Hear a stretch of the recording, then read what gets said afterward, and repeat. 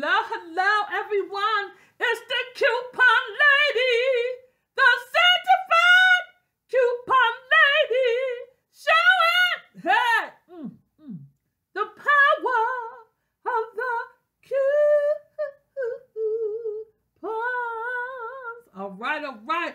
On here, I did a video and I told you about this fantastic deal they have going on in our local giant food stores I'm sure it's at another store that is affiliated with Giant called Stop and Shop.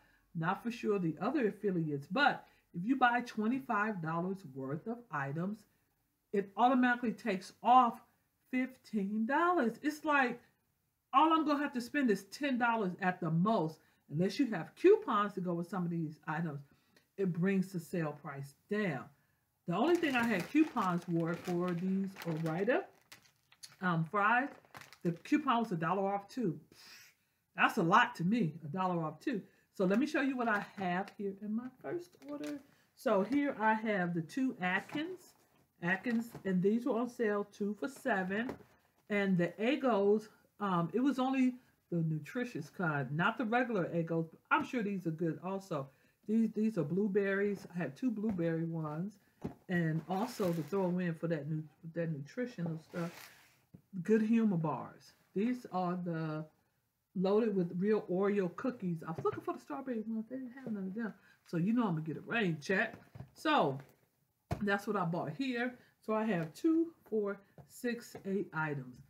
Eight items. And, okay, did I tell you how much everything cost?